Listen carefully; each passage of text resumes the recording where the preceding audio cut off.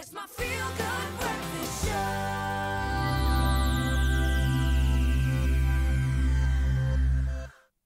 Welcome back. It's a Monday morning. We're live, large, and in charge on your Feel Good Breakfast show.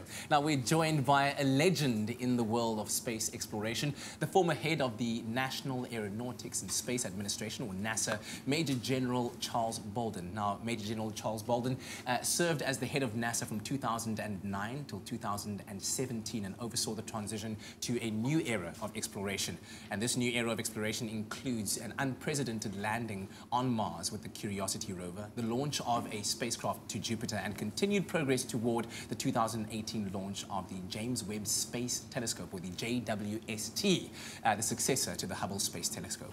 And uh, he's here to have a conversation with us, uh, of course, joined by our our regular, I guess, guy with, the, with his finger on the pulse of everything space, Dr. Daniel Cunnama. Gentlemen, thank you very much for having or for being here with us on this Monday morning. We really appreciate it.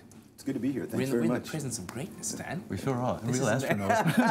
No, no, no, no. So, uh, uh, Major General, tell us what brings you to South Africa? Well, I'm actually here uh, as a part of a program with the U.S. State Department. I was selected to spend one year as what's called a State Department Science Envoy for Space. And we're selected several regions of the world, and we're traveling for 12 months to talk about STEM education with kids, but also to talk about the importance of collaboration with the United States in areas of science and technology and engineering. And also because NASA kind of led the way toward commercial and public-private partnerships to talk to people about the potential for partnering with industry in their countries and the United States uh, Yeah. in carrying out the space effort of today. Yeah.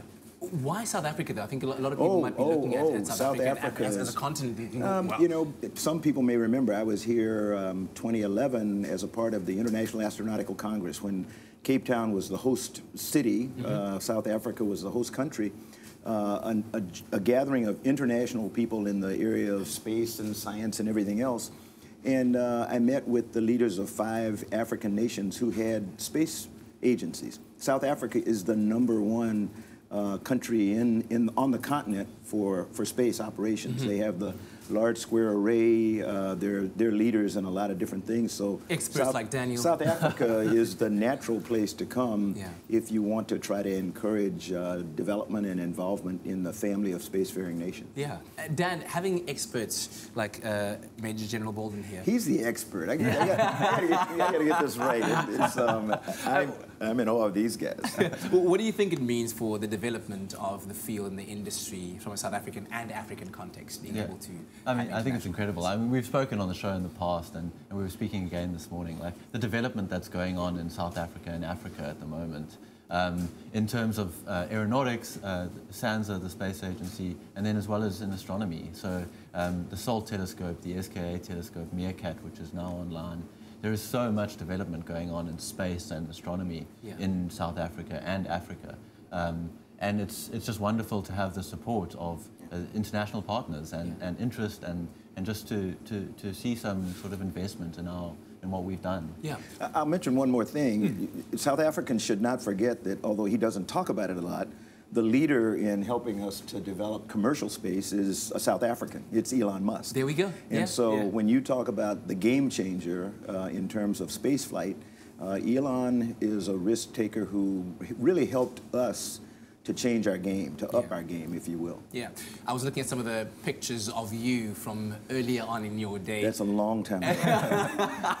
But a- as a, as a way of encouraging young South Africans um, to get into the field of space exploration, perhaps focus on their skills of maths and science, tell me about what this career has done Yeah. for your life, for you on a personal Um, in my particular case, um, I, it's taken somebody who never dreamed of going to space. There- there's, I'd say roughly 50% of the astronauts, that's all they ever dreamed of. 50% are like me, who never dreamed of it. and uh, and people. called up on a roll you call know, one people- day. uh, it's, it's almost like that. Charles, I kind you're of, up. I kind of stumbled into it, but what I hope to do is help kids understand that they may not think they like math and science, but it's a part of their lives every single day, if, especially if they're an athlete or a musician or a dancer or something, math and science are at work every single day. Mm-hmm. Football's a big sport here, or rugby, or a lot of other things.